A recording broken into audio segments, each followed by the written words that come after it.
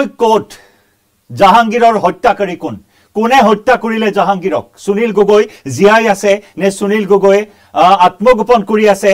এই উত্তৰসমূহৰ এই প্ৰশ্নসমূহৰ উত্তৰ কোনে দিব? এটা বৃহৎ শূন্য আগত লৈ তদন্ত অব্যাহত ৰাখিছে লখিমপুৰ আৰক্ষীয়ে। নমস্কাৰ প্ৰিয় দৰ্শক মই জয়ন্ত মাধৱ গোস্বামী। আপোনাক স্বাগতম জনাইছো নিউজ এইটিন অসম নৰ্থ ইষ্টৰ ডিজিটেল লাইভলৈ আৰু ডিজিটেল লাইভত লৈ আহিছো সমগ্ৰ ৰাজ্য বৰ্তমান তোলপাৰ লগাই থকা সুনীল গগৈ কাণ্ডৰ খবৰ। ঘনে ঘনে প্ৰশ্ন কৰা হৈছে ঘনে ঘনে জেৰা চলোৱা হৈছে সুনীল গগৈৰ পৰিয়ালক আৰু তাৰ পিছত কোনো উত্তৰ পোৱা নাই এতিয়াও আৰক্ষীয়ে। ঘনে ঘনে পুখুৰী সিঁচি সন্ধান কৰিছে চিহ্নমুণ্ডৰ কিন্তু কোনো উত্তৰ নাই বৰ্তমান লখিমপুৰ আৰক্ষীৰ হাতত।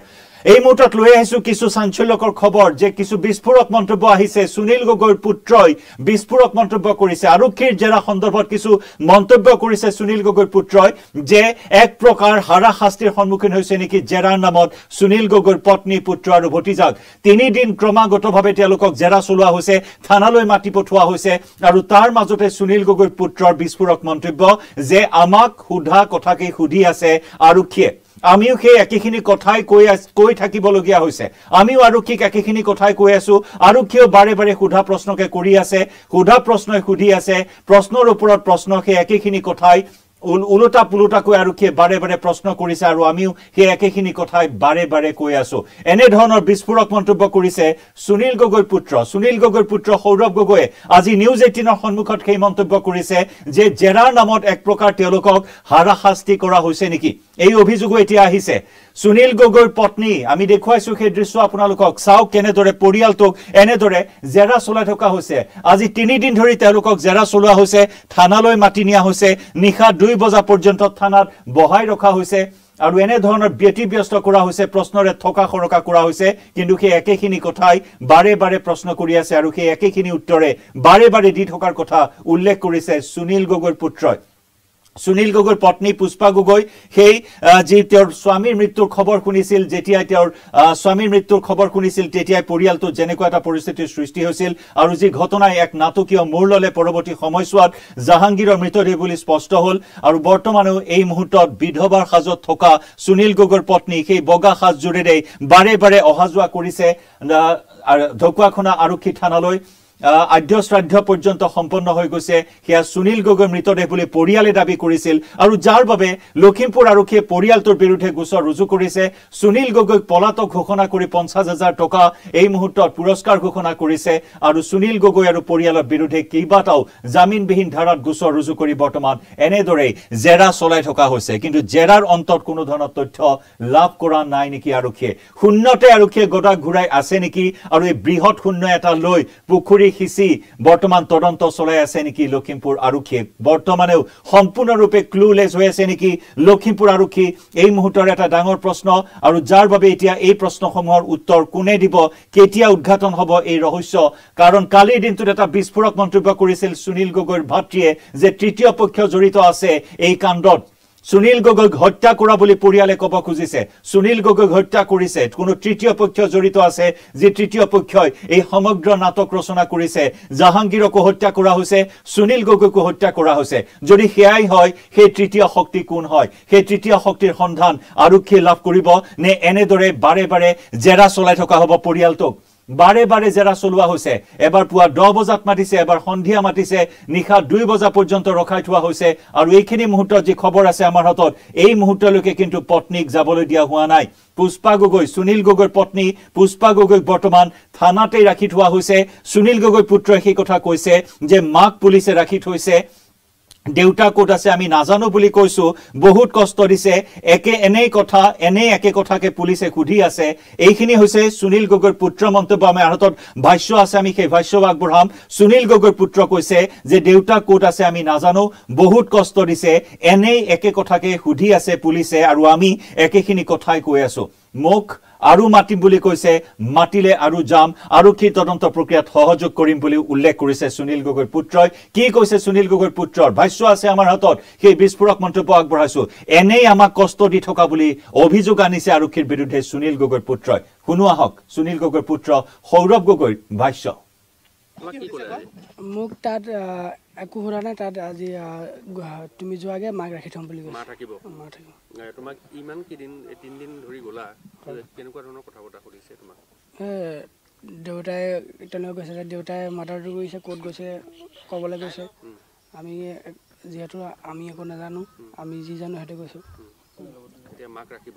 এতিয়া মাক ৰাখি থ'ম বুলি কৈছে ৰাতি হ'লে মোক মাতিম বুলি কৈছে। চবকে অকলশৰীয়াকৈ সুধিছে। অকলশৰীয়াকৈ চবকে লগত সুধিব দিয়া নাই। লগত লগতো নাই মাকেনে গ্ৰেপ্তাৰ কথা গ্ৰেপ্তাৰ কৰাৰ কথা কিবা কৈছিল নেকি? বৰ্তমানলৈকে কোৱা নাই। কোৱা নাই। আজি মেডিকেল কৰাইছিলে নেকি তোমালোকৰ আজি নাই কৰা কালি ৰাতি কালি কৰাইছিলে। ৰাতি কৰাইছে। কালি ৰাতি কৰাইছিলে। আহ, কেনেকুৱা ধৰণৰ কথাবিলাক সুধিছে? দেউতাৰ এই গোটেই ঘটনাটোৰ বিষয়ে জানা নাজানা? হয়, সেন- তেনেকৈ সুধি আছে। দেউতাক গ'লে ক'ত যাব পাৰে এনেকৈ সুধিছে। হুম, হুম। আজি কিয় মা ৰাতি থাকিব লাগিব নেকি? সেইটো এতিয়ালৈকে গম পোৱা নাই কিন্তু থাকিব নালাগে বুলি কৈছে তেওঁলোকে। তুমি আনিব যাব লাগিব? মোক মাতিম বুলি কৈছে। মোক তাত একো সোধা নাই তাত আজি তুমি যোৱাগে মাক ৰাখি থ'ম বুলি কৈছে। থাকিব। মা থাকিব। এ, তোমাক ইমান কেইদিন এই তিনিদিন ধৰি গ'লা কেনেকুৱা ধৰণৰ কথা বতৰা সুধিছে তোমাক? এই দেউতাই তেনেকৈ কৈছে যে দেউতাই মাৰ্ডাৰটো কৰিছে ক'ত গৈছে ক'বলৈ গৈছে আমি যিহেতু আমি একো নাজানো আমি যি জানো সেইটো কৈছোঁ। এতিয়া মাক ৰাখিব? এতিয়া মাক ৰাখি থ'ম বুলি কৈছে ৰাতি হ'লে মোক মাতিম বুলি কৈছে। চবকে অকলশৰীয়াকৈ সুধিছে। লগত। লগত নাই বৰ্তমানলৈকে কোৱা নাই। কোৱা নাই। আজি নাই কৰা কালি ৰাতি কালি ৰাতি কৰাইছিলে। আহ, কেনেকুৱা ধৰণৰ কথাবিলাক সুধিছে? দেউতাৰ এই গোটেই ঘটনাটোৰ বিষয়ে জানা নাজানা? হয়, সেন- তেনেকৈ সুধি আছে। দেউতাক গ'লে ক'ত যাব পাৰে এনেকৈ সুধিছে। হুম, হুম। আজি মা ৰাতি থাকিব লাগিব নেকি সেইটো এতিয়ালৈকে গম পোৱা নাই কিন্তু থাকিব নালাগে বুলি কৈছে তেওঁলোকে। তুমি আনিব যাব লাগিব। মোক মাতিম বুলি কৈছে। মোক তাত একো সোধা নাই তাত আজি তুমি যোৱাগে মাক ৰাখি থ'ম বুলি কৈছে। থাকিব মা থাকিব এ, তোমাক ইমান কেইদিন এই তিনিদিন ধৰি গ'লা কেনেকুৱা ধৰণৰ কথা বতৰা সুধিছে তোমাক? এই দেউতাই তেনেকৈ কৈছে যে দেউতাই মাৰ্ডাৰটো কৰিছে ক'ত গৈছে ক'বলৈ গৈছে আমি যিহেতু আমি একো নাজানো আমি যি জানো সেইটো কৈছোঁ। মাক ৰাখিব? এতিয়া মাক ৰাখি থ'ম বুলি কৈছে ৰাতি হ'লে মোক মাতিম বুলি কৈছে। চবকে অকলশৰীয়াকৈ সুধিছে। চবকে লগত। লগত নাই বৰ্তমানলৈকে কোৱা নাই। কোৱা নাই। আজি মেডিকেল কৰাইছিলে নেকি তোমালোকৰ? আজি নাই কৰা কালি ৰাতি ৰাতি কৰাইছিলে। আহ, কেনেকুৱা ধৰণৰ কথাবিলাক সুধিছে? দেউতাৰ এই গোটেই ঘটনাটোৰ বিষয়ে জানা নাজানা? হয়, সেন- তেনেকৈ সুধি আছে। দেউতাক গ'লে ক'ত যাব পাৰে এনেকৈ সুধিছে। হুম, হুম। আজি মা ৰাতি থাকিব লাগিব নেকি সেইটো এতিয়ালৈকে গম পোৱা নাই কিন্তু থাকিব নালাগে বুলি কৈছে তেওঁলোকে। তুমি আনিব যাব লাগিব? মোক মাতিম বুলি কৈছে। মোক তাত একো সোধা নাই তাত আজি তুমি যোৱাগে মাক ৰাখি থ'ম বুলি কৈছে। তোমাক ইমান কেইদিন তিনিদিন ধৰি গ'লা কেনেকুৱা ধৰণৰ কথা বতৰা সুধিছে তোমাক? দেউতাই তেনেকৈ কৈছে যে দেউতাই মাৰ্ডাৰটো কৰিছে ক'ত গৈছে ক'বলৈ গৈছে আমি যিহেতু আমি একো নাজানো আমি যি জানো সেইটো কৈছোঁ। এতিয়া মাক ৰাখিব? এতিয়া মাক ৰাখি থ'ম বুলি কৈছে ৰাতি হ'লে মোক মাতিম বুলি কৈছে। চবকে অকলশৰীয়াকৈ সুধিছে। চবকে লগত। লগত নাই। বৰ্তমানলৈকে কোৱা নাই। কোৱা নাই। আজি মেডিকেল কৰাইছিলে নেকি তোমালোকৰ আজি নাই কৰা কালি ৰাতি কালি ৰাতি কৰাইছিলে। কেনেকুৱা ধৰণৰ কথাবিলাক সুধিছে? দেউতাৰ এই গোটেই ঘটনাটোৰ বিষয়ে জানা নাজানা? হয়, তেনেকৈ সুধি আছে। দেউতাক গ'লে ক'ত যাব পাৰে এনেকৈ সুধিছে। হুম, হুম। আজি মা ৰাতি থাকিব লাগিব নেকি? সেইটো এতিয়ালৈকে গম পোৱা নাই কিন্তু থাকিব নালাগে বুলি কৈছে তেওঁলোকে। তুমি আনিব যাব লাগিব। মোক মাতিম বুলি কৈছে। আৰু সেয়া আছিল সুনীল গগৈৰ পুত্ৰৰ ভাষ্য। আমি বাৰে বাৰে সেই ভাষ্য শুনাইছো। আপোনালোকক মাকক ৰাখি থোৱা হৈছে। নিশাৰ ভাগতহে হয়তো মাকক আহিবলৈ দিয়া হ'ব। কিন্তু গ্ৰেপ্তাৰ কৰাৰ ক্ষেত্ৰত আগবাঢ়িব পৰা নাই আৰক্ষী। আজি ইমান দিনে গ্ৰেপ্তাৰ কৰাৰ ক্ষেত্ৰত আৰক্ষীয়ে আগবাঢ়িব পৰা নাই। অৰ্থাৎ আৰক্ষীয়ে পতিয়ন যাব পৰা সেই তথ্য প্ৰমাণ আৰক্ষীয়ে কিয় এই মুহূৰ্তলৈকে লাভ কৰা নাই? যদিওবা এই পৰিয়ালটোৰ বিৰুদ্ধে জামিনবিহীন কেইবাটাও ধাৰাত গোচৰ ৰুজু কৰা হৈছে কিন্তু এইখিনি মুহূৰ্তলৈকে কিয় কাকো গ্ৰেপ্তাৰ কৰিব পৰা নাই? যদি সঁচাকৈ সুনীল গগৈ জাহাংগীৰক হত্যা কৰিলে তেতিয়াহ'লে সুনীল গগৈৰ সন্ধান উলিওৱাত কিয় বাৰে বাৰে ব্যৰ্থ হ'বলগীয়া আৰক্ষী হৈছে আৰক্ষীয়ে? এই মুহূৰ্তৰ ডাঙৰ প্ৰশ্ন বিভিন্নজনে এই মুহূৰ্তত মতামতো আগবঢ়াইছে উল্লেখ কৰিছে যে শূন্যতে এনে আৰক্ষীয়ে গতা ঘূৰাই আছে ফলাফল শূন্যই হ'ব। কিয় আৰক্ষীয়ে এই আস্থা এতিয়া দিব পৰা নাই? কিয় সুনীল গগৈৰ সন্ধান উলিয়াব পৰা নাই? পৰিয়ালটোক বাৰে বাৰে সোধা পোছা কৰা হৈছে আৰু যাৰ বাবে পৰিয়ালটোৱে কৈছে যে আমাক এনেই কষ্ট দি থকা হৈছে। বাৰে বাৰে একেখিনি কথাকে সোধা হৈছে আমি একেখিনি কথাই কৈ আছো। গতিকে তাৰ সমান্তৰালকৈ আৰক্ষী আহি সুনীল গগৈৰ ঘৰত থকা তিনিটাকৈ পুখুৰী সিঁচি আছে। পানীৰ মটৰ লৈ আহিছে পানীৰ মেচিন লৈ আহিছে। কালি দুটা পুখুৰী খান্দিও কোনো সুংসূত্ৰ নাপালে। জাহাংগীৰৰ চিহ্নমন্দিৰৰ সন্ধান। আনহাতে আজি তৃতীয়টো পুখুৰীত সিঁচি আছে। আমাৰ সাংবাদিকে গ্ৰাউণ্ড ৰিপৰ্ট আগবঢ়োৱা আমাৰ সাংবাদিক দীপাংকৰ আৰু আমাৰ সাংবাদিক সঞ্জীৱ লাহনে জানিবলৈ দিছে হয়তো চাৰিদিন লাগিব এই পুখুৰীটো সিঁচিবলৈ। গতিকে ইমান দিনলৈ এনেদৰেই এতিয়া আৰক্ষীয়ে নাটক কৰিব নেকি তদন্তৰ নামত? ৰাইজৰ প্ৰশ্ন এয়া ৰাইজৰ অভিযোগ এয়া তদন্তৰ নামত আৰক্ষীয়ে নাটক কৰি আছে বুলি ৰাইজে এই মুহূৰ্তত সমালোচনা কৰিছে লখিমপুৰ আৰক্ষীক অসম আৰক্ষীক। এই মুহূৰ্তত আমি জনাম ধাৰাকেইটা যিকেইটা কঠোৰ ধাৰা সন্নিৱিষ্ট কৰা হৈছে।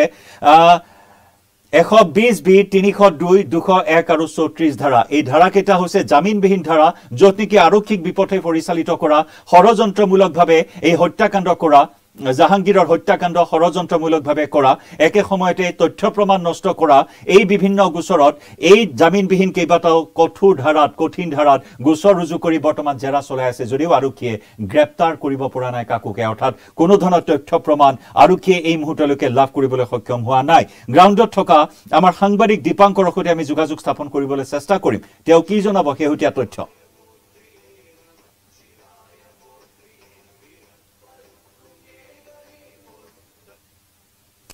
দীপাংকৰ স্বাগতম ডিজিটেল লাইভলৈ আপুনি প্ৰতি মুহূৰ্তত তথ্য জনাই আছে। ঢকুৱাখনাৰ পৰা ঢকুৱাখনা থানাৰ আৰক্ষীয়ে এই মুহূৰ্তত শূন্যতে গদা ঘূৰাই আছে নেকি? ৰাইজেও সেই একেখিনি অভিযোগে আনিছে। ফলাফল এটা শূন্য হবলৈ গৈ আছে নেকি? এটা বৃহৎ শূন্য লৈ আৰক্ষীয়ে নাটক ৰচনা কৰি আছে নেকি? তদন্তৰ নামত। জয়ন্ত চাওক তেনেকুৱা ছবিখনে আমাৰ সন্মুখত ভাহি আছে। কাৰণ আপুনি লক্ষ্য কৰক বুধবাৰৰ পৰা বৃহস্পতিবাৰ আজি শুকুৰবাৰ অৰ্থাৎ তিনিটা দিন ধৰি সুনীল গগৈৰ পত্নী আৰু পুত্ৰক জেৰা চলাই থকা হৈছে। তাৰ পিছত হয়তো জেৰাৰ পৰা কিবা তথ্য লাভ কৰিছে যে হয়তো জাহাংগীৰৰ চিহ্নমুণ্ড পুখুৰীত থাকিব পাৰে। কিন্তু আৰক্ষী যদি ইমানেই তৎপৰতা বা তেওঁলোকৰ যদি সক্ৰিয়তা যদি সফল হল হয় তেতিয়াহ'লে তেওঁলোকে বুধবাৰে নিশা ইয়াত থাকি তেতিয়াৰ পৰা তেওঁলোকে পুখুৰী সিঁচাৰ যিটো কাম কাজ তেওঁলোকে আৰম্ভ কৰিব পাৰিলেহেঁতেন। কিন্তু আচৰিত কথা দুটা পুখুৰী যিটো প্ৰায় মই পুনৰ কৈছো যে আশী ব্যাসাৰ্ধৰ এটা দৈৰ্ঘ্যৰ এটা পুখুৰী যিটো পুখুৰী প্ৰায় পোন্ধৰ ফুট দ সেই পুখুৰীটো সিঁচিবলৈ এটা সাধাৰণ মটৰ এটা আনি সাত আঠজনীয়া আৰক্ষীৰ দল এটাই যিখন নাটক চলাই আছে ইয়াত নাটকখন দেখি সঁচাকৈ আমাৰো হাঁহি উঠিছে। কাৰণ এই পুখুৰী সিঁচিব তাত তেওঁলোকে চিহ্নমুণ্ড বিচাৰিব। কল্পনা কৰক একৈশ দিন পূৰ্বে এটা মৃতদেহ জ্বলাই দিয়া হল নৃশংসভাৱে আক্ৰমণ কৰা হল। চিহ্নমুণ্ডটো আনি পুখুৰীত পেলাব নে আন কৰবাত পেলাব যিটো এটা প্ৰাথমিক অনুসন্ধান থাকে আৰক্ষীৰ। সেয়া যেন ক'ত কৰবাত নহয় কৰবাত তেওঁলোকে অস্ত্ৰ আনকি উদ্ধাৰ কৰিব পৰা নাই আৰক্ষীয়ে নিশ্চয় কেইবাখনো অস্ত্ৰ থকা বুলি আৰক্ষী অনুমান কৰিছে কিন্তু এটা কথা জনাও যে জাহাংগীৰৰ মৃতদেহৰ ওপৰতে কিন্তু এখন চোকা অস্ত্ৰ আৰক্ষীয়ে উদ্ধাৰ কৰিছিল। কিন্তু কেৱল সেই অস্ত্ৰৰে যে জাহাংগীৰক আক্ৰমণ কৰা হৈছিল সেয়াও এই মুহূৰ্তত আৰক্ষীয়ে স্পষ্ট নহয়। কাৰণ তেওঁলোকে পুখুৰীৰ পানীৰ তলত আৰু কিবা হয়তো ক্লু লাভ কৰিব পাৰে নেকি এই ধৰণে তেওঁলোকে এটা অভিযান আৰম্ভ কৰিছে। কিন্তু আচৰিত কথা তদন্তকাৰী আৰক্ষী বিষয়া এগৰাকীয়ে থানাত থাকি। জেৰাৰ সন্মুখীন কৰাব লাগে পত্নী অথবা পুত্ৰক কিন্তু আচৰিত দৃশ্য আমি দেখিছো যে। তদন্তকাৰী আৰক্ষী বিষয়াগৰাকীয়ে। পানী সিঁচাতহে এই মুহূৰ্তত ব্যস্ত আছে। খুব লাজ লগা বিষয় লখিমপুৰ আৰক্ষীৰ বাবে কাৰণ। লখিমপুৰ সদৰৰ পৰা ঢকুৱাখনালৈ যদি আমি ডিষ্টেন্সৰ কথা কওঁ তেতিয়াহ'লে প্ৰায় আশী পঁচাশী কিলোমিটাৰ দূৰত্ব। কিন্তু আজি তিনিদিন ধৰি কোনো এগৰাকী শীৰ্ষ আৰক্ষী বিষয়া বা এছ পি পৰ্যায়ৰ বা এডিচনেল এছ পি। অপৰাধ শাখাৰ কথা আমি বাদেই দিলো। কোনো ধৰণৰ কিন্তু এগৰাকী শীৰ্ষ আৰক্ষী বিষয়া কিন্তু আজিলৈ ঢকুৱাখানাত চৌহদত তেওঁলোকে ভৰি নিদিলে এটা খুব লাজ লগা দৃশ্য আমি যদি চাওঁ আৰু আৰু এটা লাজ লগা কথা দীপাংকৰ যদি চোৱা হয় সুনীল গগৈ কোনো দাগী অপৰাধী নহয় ইয়াৰ পূৰ্বে তেওঁ যে কিবা দাগী অপৰাধ কৰিছে তেনেকুৱা কথা নাই। যদি বা তেওঁক এতিয়া অপৰাধী হিচাপে গণ্য কৰা হৈছে বা অপৰাধী সজোৱা হৈছে পলাতক ঘোষণা কৰা হৈছে। কিন্তু এজন সাধাৰণ ঠিকাদাৰ বা এগৰাকী বিজেপি নেতা বুলি যদি আমি কওঁ এই বিজেপি নেতাজন সন্ধান উলিওৱাত কিয় তথাকথিত স্মাৰ্ট আৰু কি ব্যৰ্থ হৈছে? উন্নত প্ৰযুক্তি আজিকালি ব্যৱহাৰ কৰিছে অসম আৰক্ষীয়ে। তৎস্বত্বেও কোনো সুংসূত্ৰ লাভ কৰা নাই। এয়া লাজৰ কথা নহয়নে আৰক্ষীৰ বাবে? নিশ্চয় গোটেই লাজৰ ছবিখন এক প্ৰকাৰ প্ৰকাশ কৰি দিছে লখিমপুৰ আৰক্ষীয়ে। কাৰণ আপুনি লক্ষ্য কৰক যোৱাকালি যিখন তেওঁলোকে বিজ্ঞাপন প্ৰকাশ কৰিলে তাত তিনিখন ফটোগ্ৰাফ সহ তেওঁলোকে কেছ নাম্বাৰ আৰু মূল কালপ্ৰিট শব্দটো তেওঁলোকে তাত ব্যৱহাৰ কৰিছে। অৰ্থাৎ মূল এবস্কণ্ডিং অৰ্থাৎ তেওঁ পলাতক হৈ আছে। মূল অভিযুক্ত সজাই দিয়া হৈছে। আৰু তাৰ পিছত কোৱা হৈছে যে কোনোবাই যদি সুনীল গগৈৰ সন্ধান পায় তেতিয়াহ'লে আৰক্ষীক খবৰ দিয়ক আৰু। তেওঁলোকক পঞ্চাশ হাজাৰ টকাৰে পুৰস্কৃত কৰা হ'ব। লাজৰ বিষয় সঁচাকৈ কৈছো অসম আৰক্ষীয়ে এজন লোকক এই মুহূৰ্তলৈ বিচাৰি উলিয়াব পৰা নাই। জাহাংগীৰ জাহাংগীৰ জাহাংগীৰ বুলি ভাবি থকা চৰিত্ৰটো আঁতৰাই ৰাখি তেওঁলোকে। সুনীল গগৈক বৰ্তমান যিদৰে সমগ্ৰ ঘটনাত বৰ্তমান মূল অভিযুক্ত সজোৱা হৈছে। সঁচাই আৰক্ষীয়ে হয়তো কিবা প্ৰমাণ পাব পাৰে যাৰ। বাবে তেওঁক মূল অভিযুক্ত সজোৱা হৈছে। কিন্তু এনেকুৱা যেন কিছু কৰবাত তেওঁলোকৰ তদন্তৰ প্ৰক্ৰিয়াটোৰ কৰবাত এটা গেপ ৰৈ গৈছে যাৰ বাবে আজি একৈশ দিনে। এই সমগ্ৰ ঘটনাৰ কিন্তু যিটো ইউ টাৰ্ণ বা। যিটো আমি পাক দেখি আছো নতুন নতুন। সময়ত। কিন্তু এই পাকটো তেওঁলোকে মাৰিবলৈ সক্ষম হোৱা নাই। খুব লাজ লগা কথা। এই মুহূৰ্তত এই মুহূৰ্তত জয়ন্ত আমি। জন যি আমি সুনীল গগৈৰ বাসগৃহত উপস্থিত আছো। আৰু তাত আমি দেখি নিজে আচৰিত হৈছো যে দৈনিক চৰকাৰী দৰমহা লোৱা একাংশ। এছ ডি আৰ এফ বাহিনী হওক বা আৰক্ষী লোক হওক। তেওঁলোকে বৰ্তমান আহি ইয়াত কেৱল টাইম পাছৰ নামত কেৱল টাইম পাছ কৰি আছে কেৱল তদন্তৰ। নামত টাইম পাছ কৰি নাটক ৰচনা কৰিছে। দীপাংকৰ ধন্যবাদ জ্ঞাপন কৰিছো আপোনাক এইখিনি মুহূৰ্তত দীপাংকৰে গ্ৰাউণ্ডৰ পৰা সুনীল গগৈৰ ঘৰৰ পৰা জনাইছে যে কেইবাগৰাকীও সি আৰক্ষী বিষয়াই গৈ তাত টাইম পাছ কৰি আছে। এছ ডি আৰ এফ বাহিনীয়ে তাত টাইম পাছ কৰি আছে। এটা মাত্ৰ সাধাৰণ পানী সিঁচা মেচিন লৈ এটা পানীৰ মটৰ লৈ তৃতীয়টো পানী তৃতীয়টো পুখুৰীৰ পানী সিঁচি আছে কিন্তু চাৰিদিন প্ৰয়োজন হ'ব বুলি কৈছে আমাৰ সাংবাদিকে। এই তৃতীয়টো পুখুৰী পানী সিঁচিবলৈ চাৰিদিনৰ প্ৰয়োজন হ'ব আৰু তাৰ বাবে এতিয়া এনেদৰে তদন্তৰ নামত নাটক ৰচনা কৰি আৰক্ষীয়ে অভিযান চলাই আছে কিন্তু গুৰুত্বপূৰ্ণ কথা হ'ল কোনো এজন এছ পি পৰ্যায়ৰ বা কোনো এজন শীৰ্ষ আৰক্ষী বিষয়াই কিন্তু তদাৰক কৰা নাই এই তদন্তত বা জেৰা চলোৱা হোৱা নাই সুনীল গগৈৰ এই পৰিয়ালটোক যাৰ বাবে পৰিয়ালটোৱে উল্লেখ কৰিছে যে তেওঁলোকক এনে শাস্তি দিয়া হৈছে। জাইদা চাইফুজ্জামানে লিখিছে সকলো শূন্যই হ'ব পুলিচে নাটকহে কৰি আছে চব নাটক কৰি আছে পুলিচে শ্বাহিদ চৌধুৰীয়ে উল্লেখ কৰিছে বিভিন্নজনে কমেণ্ট কৰিছে প্ৰিয় দৰ্শক আপুনিও জনাওক আপোনাৰ মতামত। সুনীল গগৈ ক'ত কিয় এনেদৰে শূন্যতে গদা ঘূৰাবলগীয়া হৈছে আৰক্ষী এটা বৃহৎ শূন্য লৈ এনেদৰে টাইম পাছ কৰি তদন্তৰ নামত কিয় নাটক কৰি আছে? কিয় এতিয়াও একৈছ দিনৰ পাছতো ক্লুলেছ হৈ আছে তথাকথিত অসমৰ স্মাৰ্ট আৰক্ষী? ধন্যবাদ।